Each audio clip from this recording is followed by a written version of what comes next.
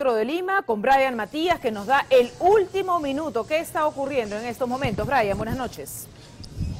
Sí, Marisol, buenas noches. Eh, estamos en este momento en el cruce de Camaná con Nicolás de Pierola. La policía está regresando a la Plaza San Martín porque a pesar de que ya se habían dispersado, dividido los manifestantes, se volvieron a reagrupar y trataron de acceder hacia la mencionada plaza. La policía, bueno, tuvo que terminar usando los gases lacrimógenos para esparcirlos, pero han pasado varios minutos, podríamos calcular unos 20 minutos entre que los alejaban por una vía, pero ellos se volvían a agrupar, entraban por Ocoña, luego trataban de ingresar por Camaná, trataban de darse la vuelta, bueno, pero había policías en Girón de la Unión.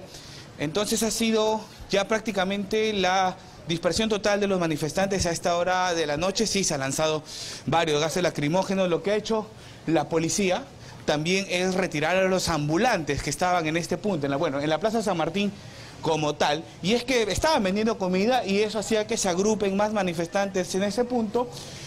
Lo que señalaban también los agentes del orden era que había dos mujeres, no sé si se pudo captar bien, puesto debido a todo el movimiento que se ha dado, que estaban asusando en realidad.